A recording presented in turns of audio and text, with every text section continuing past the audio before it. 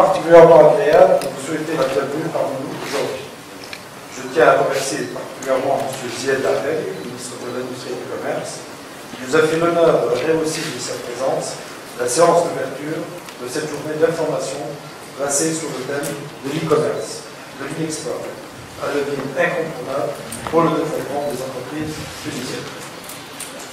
Cette présence témoigne de l'importance accordée par votre ministère de tutelle aux activités de notre chambre et au soutien de l'export. Je voudrais également remercier l'ambassade des États-Unis d'Amérique. Vous comprenez français Son soutien au projet de la Chambre de commerce, je remercie plus particulièrement son Excellence, Monsieur l'Ambassadeur, pour sa sollicitude et son appui continu. Je remercie de même tous ceux qui ont contribué à la préparation de cette journée d'information réalisée par la Chambre et l'équipe du projet de plateforme Tunisia Technique qui se, qui se tient en marge de la campagne de promotion internationale de la dite plateforme et dans la mesure où elle se positionne en tant qu'outil national de promotion et d'assistance à l'export qui est au service des entreprises tunisiennes. Mesdames et messieurs, conformément à leur prérogative, les chambres de commerce et d'industrie ont pour rôle d'être à l'écoute de l'entreprise pour bien répondre à ses besoins et à ses enjeux, afin qu'elle soit au des changements inhérents à son environnement,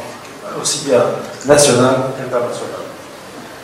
Pour cette fin, elle est appelée à mettre à leur disposition tous les outils à même de leur permettre de prendre des décisions et de nouvelles stratégies de développement dans leurs différentes activités, d'améliorer leur visibilité et leur compétitivité et de développer leurs exportations en intégrant de nouveaux marchés et en exploitant des nouvelles opportunités,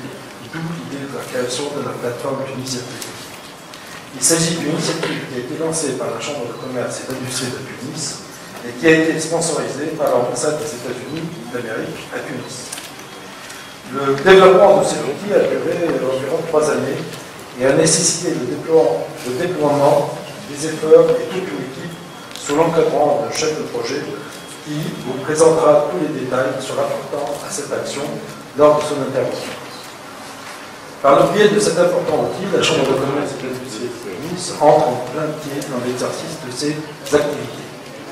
En effet, la plateforme Tunis et Technique passe actuellement par une étape importante depuis son lancement, en l'occurrence son internationalisation et son ouverture tout spécifiquement sur les pays africains, ce qui permettra aux entreprises adhérentes bénéficier de nombreux avantages, à même de leur faciliter l'accès à plusieurs marchés prometteurs. Aussi, il s'avère euh, de miser dans le futur en partenariat public-privé afin de conférer à la plateforme Tunisia Technique plus d'opportunités d'assurer sa pérennité et afin de lui permettre de renforcer ses capacités, et ce, à travers la création de sociétés spécialisées. Mesdames et messieurs, le projet de création de la plateforme Tunisia Trading entre dans le cadre de la collaboration entre la Chambre de commerce et de Tunis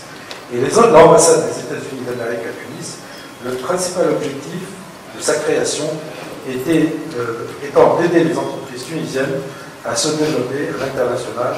et ce, à travers une série de modules à forte valeur ajoutée qui leur permettront de promouvoir leurs exportations